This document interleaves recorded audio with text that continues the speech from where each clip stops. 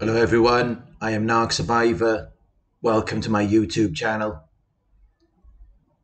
In this one, I'm going to be talking about how narcissists feel when you finally cut them off. Please give the video a thumbs up down below. Hit subscribe and click all notifications to be notified when I upload a new video. If you'd like to book a one-on-one coaching session with me, just go to my website. It is narcsurvivor.co.uk. How do narcissists feel when you finally cut them off? How a narcissist feels when you cut them off really depends on what type of narcissist you are dealing with. Aside from overt, covert, cerebrals, and somatics, I would say that there's really only two types of narcissists. There's the type of narcissist who is more jealous, possessive, and controlling. And then there's the other type of narcissist who tends to be more of a player. The player type of narcissist is typically not going to care if you cut them off. It's not going to faze them in any way. They will end the relationship the second you do unless you're providing something to them that they can't find anywhere else, such as money, a place to stay, or sexual experiences. But they are not going to feel rejected. They're not going to feel inadequate, unacceptable, or faulty. Just because you stopped giving them affection or showing concern for them, they're not going to care. Because they likely have many other options or they may be sociopathic or psychopathic. And they just don't have any interest in human engagement or connection unless they envision you as their ideal love. Because that is why many sociopaths and psychopaths are quite comfortable being alone. They are holding out for their ideal partner. But most narcissists are not like that and instead they are very jealous, possessive, and controlling because they don't have many other options or they can't find anyone else on your level. However, they do have an inflated ego and a sense of pride, so they're not going to be vulnerable and they are unlikely to reveal their emotions to you. But narcissists do feel. They do experience emotions and sensations Sociopaths and psychopaths are higher on the spectrum, so they're not going to be as sensitive, or they may barely feel anything at all. But narcissists do feel. They can't experience genuine positive emotions, but they are more sensitive to negative emotions than you or I. So when you cut the narcissist off, they will feel hurt. It will cause emotional pain and they will feel like you are being unkind and unfair to them. Because despite what they may have done to you, they still feel entitled. They are very arrogant. So they believe they should have whatever they want, which really works against them if you decide to cut them off. And it creates a conflict within themselves, a battle in their own minds. Because on one hand, they think they're the best thing since sliced bread, but in reality, you're not wanted to talk to them which causes them to feel pain, shame, and regret. The player type of narcissist will not experience those emotions. Instead, they will think there must be something wrong with you, because elsewhere they may be receiving a lot of validation. So if you're not validating them or wanting to be with them, then they will assume you to be defective in some way. But other narcissists, especially those who are covert, are likely not to be receiving sufficient validation or supply, and that is why they are covert. The overt may receive more of a sting initially, but it's going to have more of a lasting effect on the covert narcissist. Because while some overt narcissists will openly discuss their feelings, the covert narcissist will bottle it up inside because they do not want to feel their feelings they do not want to deal with the shame. They do not want to accept that you rejected them. So they will not accept anything that they have done to you. They will play pretend. They will play make believe. They will engage in a manipulative play because it's just too painful for them to accept. So they will refuse to take accountability. And that is why they never heal. Because they can't accept what they've done. They can't accept what they've caused, what they're a factor in, and what they're responsible for. They would rather create a false narrative about you and just move on to someone else because it's too painful for them to reflect on their shame. So they will try to replace you as fast as possible. And they won't care who it is. They will downgrade, they will settle for low hanging fruit as long as they don't have to be alone with their feelings. Because when you cut them off, they will be constantly ruminating and it will be very painful for them because they're ashamed of what happened, which is why they will do anything they can to avoid reflecting on their shame. And if they can't find anyone they're willing to settle for, then they will obsess over trying to get you back. But that's only if they think that they can. If you've made it very clear to them that they can't have you or be with you, then they're not going to obsess over you. Unless they're completely delusional and they have no other options. Or if they do have other options, but you're the best they can find, which is based on superficial things or the potency of your supply. But the more rigid you are and cut them off, and in removing your emotional reactions, the more they're going to hate you. Because then they know you're not going to take them seriously anymore. So what have they got to lose? But everything they do is intended to affect you. So when they see that it's not affected you anymore, you win. Because if they can't affect you, they don't get that sense of elevation at your expense. So then they continue to feel how they already felt. They feel how they were trying to make you feel because they were unable to deflect their feelings onto you. So then their shame takes over them because then they feel like they've lost. They have the same mentality as a two year old child. They think in black and white, in terms of winning and losing, but they're not really trying to win. They're just trying to not feel like a loser because that's how they already feel. And their idea of not losing is to have as much access to you as they possibly can, to have control over you and to get reactions from you. So if they no longer have access to you, they can no longer get those reactions from you, which means that they have lost control. It means that they do not have the power to influence and direct your behavior and the course of events. And when that happens, some of them will run away like a dog with its tail between its legs.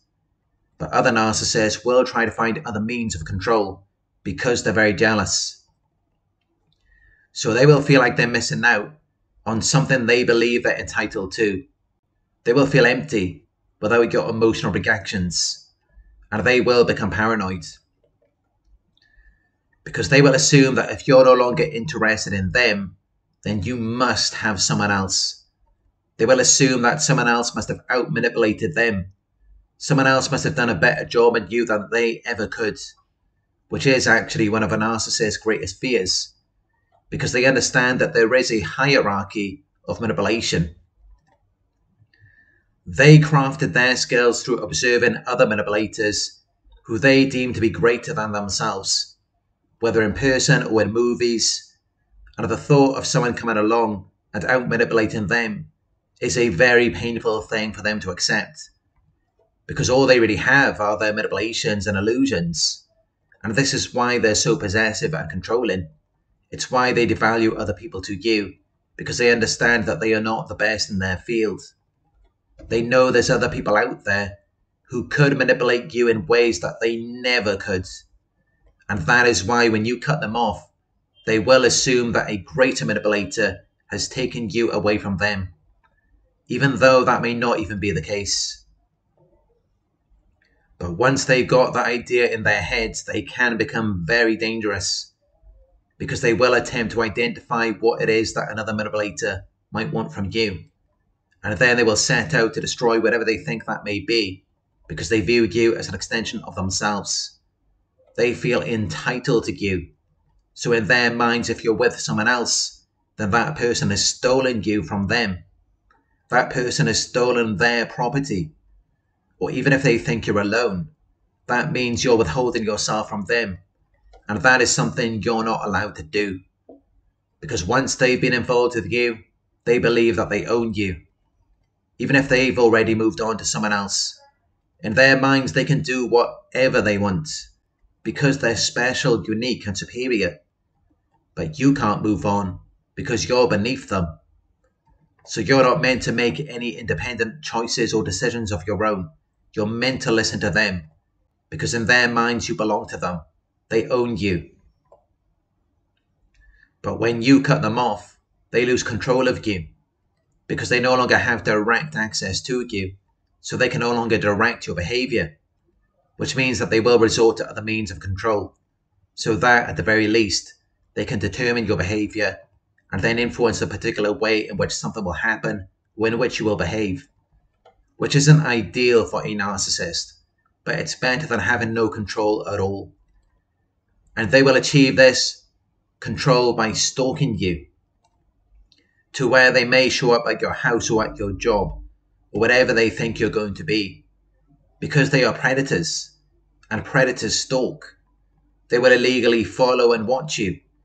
They will harass and persecute you with unwanted and obsessive attention as a means of regaining their power and control, which is why you do need to be very careful because stalking is a very serious crime. It's against the law and if they're willing to break laws in order to get to you, then that means you're dealing with a very dangerous person. You're dealing with someone who has an addiction to you.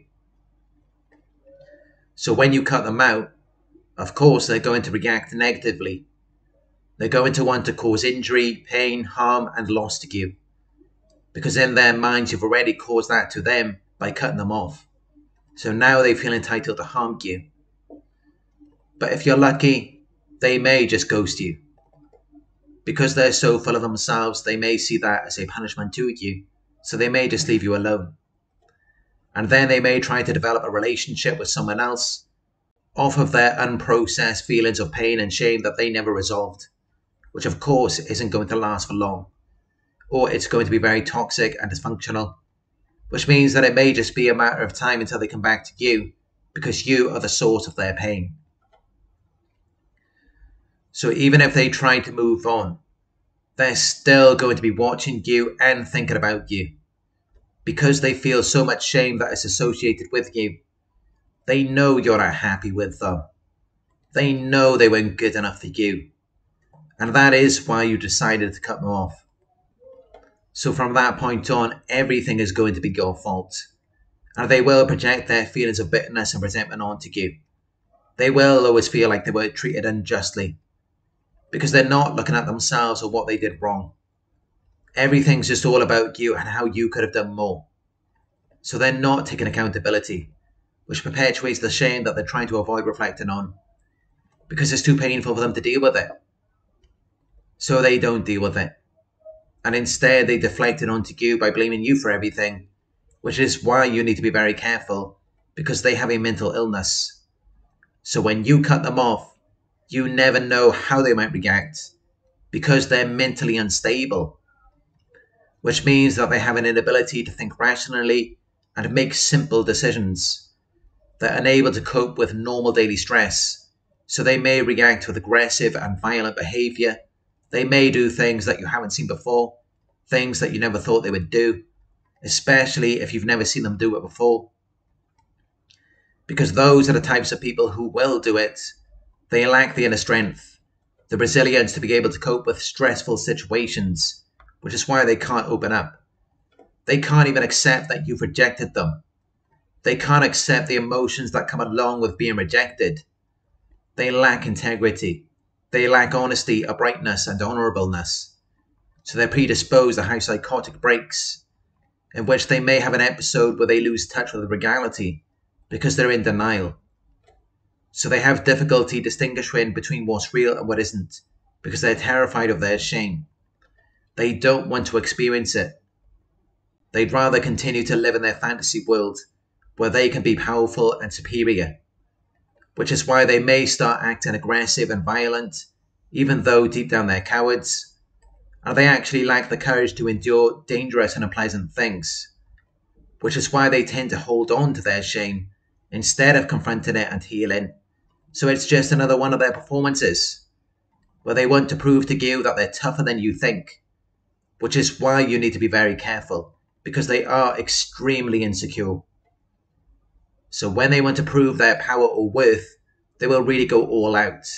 They will be very dramatic, and it can often be very sudden and striking because they want to make an impact. They want to feel powerful in a situation where they would naturally feel powerless and helpless, which is why some of them will have a psychotic break and come after you, not because you've taken anything from them, but because you're unintentionally reminding them of how they're not your God or your master, and they actually have no ability to control you at all. At least not without directly affecting you and seeking to harm you, because by that point, that's really the only thing they can do. When they're forced to reflect on the unwelcome fact that you're not an extension of them, and that you're actually a separate person, person with your own feelings and needs, that they un, uh, that they are unable to fulfill. And that is what causes them more shame than anything else. The fact that they know they weren't good enough for you. Because if they were good enough for you, then why would you choose to separate? Why would you pull away? Of course, they discount the abuse. They don't consider that because they know that is their vulnerable point. They know that it doesn't justify them having access to you. Because if you desire to cause harm or to neglect someone, then you're not deserving of them. And at some level, they understand that because our value is determined by what we give and provide rather than what we take or consume. Which is why when you cut them off, they will feel worthless and insignificant, and then they will seek to destroy you. They will smear your name ruin your reputation, get you fired from your job, and sabotage your support system. Because otherwise, they're left to reflect on the fact that they're no good. If you can move on and things get better for you, and they're still stuck in the same situation, then that means that it is them. And they know that. It's what would naturally happen because, of course, they're the narcissist and you're the victim, so they have to invade your new life and destroy everything to create the appearance that it's you and not them. This is what narcissists do. It's perception management, and they are master manipulators. So they know how to turn the tables on you. They've done it to people before you. But as you've already witnessed, it is them who cannot live a stable life. They're the ones who lack the strength to stand and endure. They're just trying to reverse the situation onto you, which is why the last thing they want is to see you move on and become successful, whether it's in your career or relationships, because that triggers their shame. It reminds them that they weren't good enough to accomplish what you did. But they're not going to implode they're not going to take themselves out. They're going to take you out. Because while they may not be good people, they're not built to survive. They're constantly in survival mode. They already abandoned themselves a long time ago. Some narcissists even sacrifice their own kids to maintain their image because all they care about is themselves. Which is why, if it's a battle between you and them, they will always win the only way that you will win is by not playing the game. You have to cut them off because they're the predator and you're the prey. You're like a snack for a narcissist, so they feel no remorse. They feel entitled to devour you in order to save themselves. So you have to protect your peace. You have to find your freedom from, from disturbance because they are hardwired to destroy you. And it may not seem fair because you don't want to fight. You just want to move on with your life. But narcissists do not care about fairness. All they care about is power and control because they were raised in scarcity. So they will try to harm you. They will steal from you. They will sabotage you. They will drag you through the courts they will mentally exhaust you. They will do anything they can to try to weaken and disempower you, because otherwise you would naturally become healthy, happy, and successful without them. So they're just going to keep attacking you again and again. But not all narcissists will become evil and crazy when you try to cut them off. Some of them will try to rekindle the relationship. They will return to the love bombing phase because it works on you. They know you just want things to be normal again. So they will pretend to listen to you and they will start doing what you want them to do.